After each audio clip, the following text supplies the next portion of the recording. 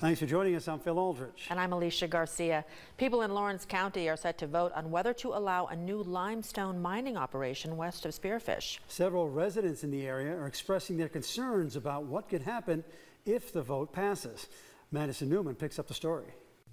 Residents in the area of a possible new limestone mining pit are asking the public to vote no on December 19th's special election, saying they have concerns about what would happen if the vote passes. There are multiple concerns. One of them is, is dust. Um, dust will especially in our winds here, dust from a gravel quarry will go five to ten miles. Um, and probably farther with the winds that we have out here. It, there's the concern about the hydrology out here. Uh, we have wells.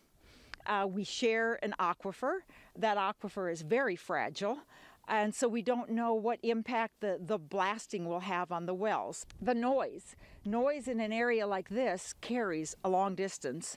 Residents also have concerns about the possibility of more large haul trucks that could be going through the area. Unfortunately, right now where my farm sits, I already have two gravel pits near me. I deal with the trucks coming up and down the road that I live on.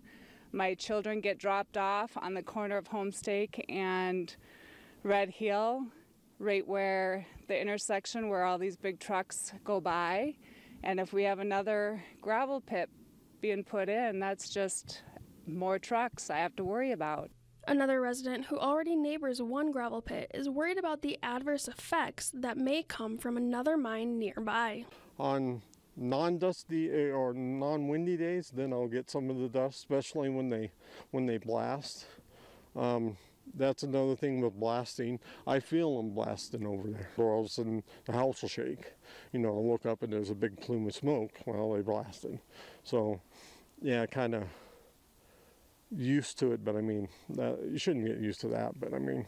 Early voting is already open, and polls will be open next Tuesday, December 19th. To find your polling location, you can head to our website. Reporting in Spearfish, I'm Madison Newman.